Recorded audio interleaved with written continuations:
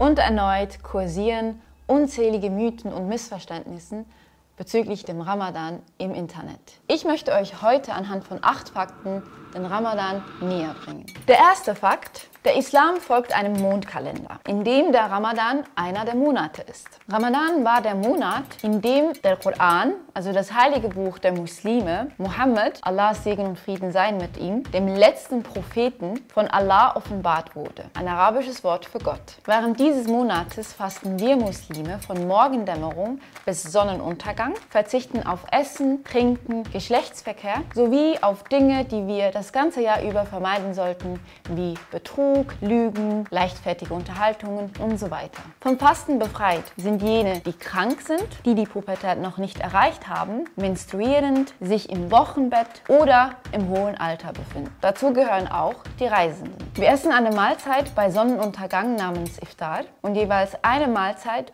vor Morgendämmerung namens Suhur. Zwischen diesen Zeiten ist es uns frei oder steht es uns frei, so viel zu essen oder zu trinken, wie wir es möchten. Das Fasten stellt eine von fünf Säulen des Islams dar. Zu den weiteren vier gehören das Glaubensbekenntnis, dass es nur einen Gott gibt und dass Mohammed Allahs Segen und Frieden seien mit ihm sein letzter Gesandter ist, das fünfmal tägliche Beten, die Pilgerreise nach Mekka und das Verrichten der Pflichtsteuer, Zekah. Während des Fastenmonats versuchen wir Muslime, so oft wie nur möglich aus dem Koran zu lesen. Zudem würden wir im Normalfall an den nächtlichen Gottesdiensten teilnehmen, namens Tarawih, was jedoch angesichts der Corona-Krise nicht möglich ist. In diesen nächtlichen Gottesdiensten wird oft aus dem Koran rezitiert von Imamen. Das sind in etwa wie geistliche Führer. Das Ende des des Monates ist durch den Feiertag Eid al-Fitr gekennzeichnet, an dem wir die Armensteuer verrichten, also die Zakat al-Fitr, und danach am Eid-Gebet teilnehmen, um den Rest des Tages zu zelebrieren. Das war's auch schon mit dem Ramadan Crashkurs. Und ja,